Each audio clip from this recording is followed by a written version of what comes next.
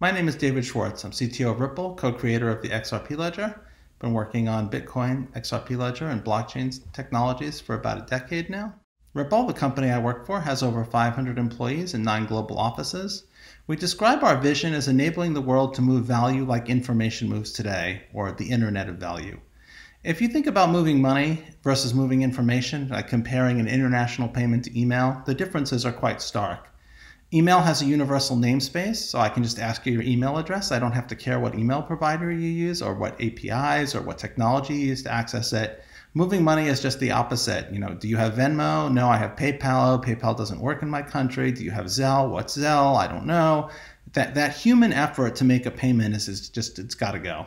That inter- well, so what we're looking for is the internet of value, where that where payment is uh, as seamless and as nice as an experience as sending information. We describe our mission, sort of what we're working on every day, as enabling payments everywhere, every way for everyone. So just taking that pain out of getting money to move from one place to another. Ripple basically has two portions of the company, RippleNet and RippleX. RippleX is the open source development portion of the company, working on helping people to understand and use blockchain technologies and lower some of those barriers to entry. Uh, RippleNet is a payments network. It's built for financial institutions. It has payments infrastructure, end to end messaging delivered by Ripple. And XRP is a digital asset widely used by individuals and companies. It settles on a public ledger in just a few seconds at very low cost. So, RippleNet is a global payments network built by Ripple uh, in over 55 countries with over 120 currency pairs. Key partners include companies like MoneyGram, American Express, Azimo, and so on. This is a modern payment system built on blockchain technology that allows end-to-end payment negotiation, fee discovery, pathfinding, multi-hop payments, and so on. And it's sort of agnostic to how the payment settles. It can settle with a digital asset, it can settle through a traditional Forex desk or through correspondent banking. It's agnostic to how the payment's going to settle and allows financial institutions to choose the settlement method that works best for the particular payment. XRP is a universal vehicle of value. This is one of the tools that Ripple is using to solve the international payment challenge. This is a digital asset that moves value between two parties in just a few seconds in a, in a neutral system. It doesn't have an operator, it doesn't have a central counterparty, it's censorship resistant, it's fast and reliable. XRP lives on the XRP ledger, just like uh, Bitcoin lives on the Bitcoin blockchain. The XRP ledger has some very interesting properties, though it's very cheap, a tiny, tiny fraction of its of a penny. It's very fast. Payments can be fully confirmed in less than 10 seconds. It's available on over 100 exchanges and traded on over 200 currency pairs. So, this is an open source, decentralized technology that provides a digital asset that provides scalability, speed, and low cost. It enables the full settlement of transactions for fractions of a penny. The XRP ledger doesn't just host XRP though, it has a tremendous amount of built-in functionality. It's a sort of fixed function blockchain. It's not like Ethereum where you can add your own functionality yet. There's been work to add that feature, but it does have very sophisticated fixed function transactors and a major feature is issued assets and the decentralized exchange.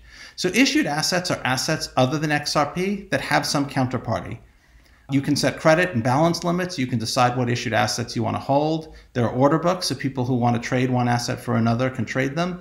And cross asset payments work using the liquidity in the order book. So if there's someone who's willing to trade US dollars for Bitcoin, then you can pay US dollars and deliver Bitcoin or vice versa. And the network will figure out how to make that payment work for you. And payments have incremental execution, so you don't have to buy down a single order book and get a bad rate for a large payment. Payments can execute across multiple order books concurrently. These are features that have been around in the XRP ledger since 2012. These are not uh, these are not new features. So these issued currencies uh, exist as a balance between two accounts. Like if I have $50 at, the, at a bank, we think of the bank as owing me $50. It's a positive $50 balance for me and a negative $50 balance for the bank. And if you trust the same bank I do, then I can make a payment to you by doing something that lowers my balance and increases your balance. And now the bank owes me less money and you more money. And we can use different banks, and this still works as long as their liquidity. The payment ripples through the different institutions that hold the assets and issue the assets. Again, this is functionality that the XRP ledger has had since 2012, including functions like credit limits, on ledger settlement, and so on. So let's talk about stablecoins and CBDCs. What are they? These are digital assets pegged to fiat that would be issued by some sort of a reputable financial institution, in the ideal case, a central bank. So, why a central bank? If you use dollars, you're trusting the Federal Reserve anyway. If the Federal Reserve owes you dollars, well, that's what dollars are. You can't get any more dollar than that. So, that eliminates um, a trust problem because it puts a trust in a party that you necessarily trust anyway. So, let's look at some of the possible approaches for issuing stablecoins and CBDCs. There are a couple of possible models. The first model is the non ledger model by which I mean not using any blockchain or any of the newer technologies. This is the traditional mechanism where accounts have balances and you trust counterparties to tell you what your balances are. You have legal recourse against them, obviously, if they give incorrect balances. A public ledger system trades multiple assets on a decentralized network. Multiple issuers could issue stablecoins or CBDCs onto a public ledger like the XRP ledger. A hybrid public ledger approach uses a public ledger for settlement, but doesn't attempt to send every transaction to the public ledger. You could imagine if you were doing high traffic volumes, hundreds of transactions per second or more, you probably don't want to try to push every single one of those transactions down to a public ledger. In a private ledger approach, it's like a blockchain, but it's not decentralized. So here, central banks or asset issuers would operate their own private ledgers that would give some of the benefits of public ledgers, but not all of them, but avoiding some of the disadvantages of private le- public ledgers. So what is the advantages of each approach? The non-ledger approach is simple and scalable. It's what everybody's already doing. If your bank tells you that they have a balance, they're not using any of these new ledger technologies.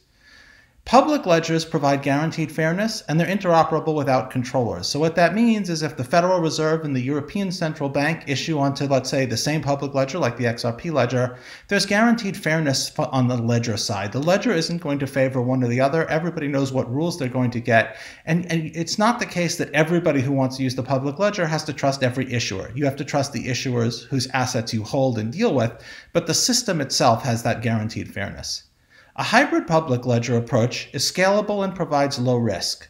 The two types of risk that it best minimizes are overnight risk. You imagine if you used a more traditional system, you might have a whole bunch of payments that settle on Friday, and you can't actually make the payment to ultimately settle between the financial institutions until Monday. If you go back to a public ledger and settle with a stablecoin or CBDC, you avoid that overnight risk. And you can also avoid the sort of cascading default. If you imagine a system that settles only every day, you may have a situation where a bank doesn't have enough float to make all of their outbound payment commitments if all of their inbound commitments fail. So if A fails to pay B, B may be unable to pay C and D, leading to cascading default and systemic risk. If you settle back to a public ledger, let's say every minute or even every hour, you can avoid that risk of cascading default without having to have an entire day or worse, an entire weeks of payments flows as float. You just keep enough float in case your sort of transactions in flight don't settle. The private ledger approach allows foreign assets and it's secure and scale and reliable. So you get the benefits of public ledgers. Public ledgers don't stop.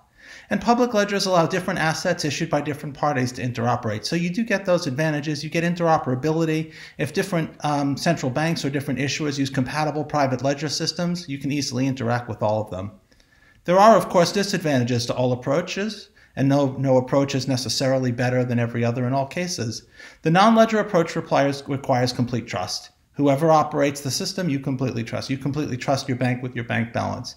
That may be okay because you can sue them and there's a legal regime, but that's what you're ultimately relying on to keep the system secure. And they're not interoperable. Banks don't interoperate with each other. Different, completely private non ledger systems just don't interoperate very well. That's part of the problem with payments today.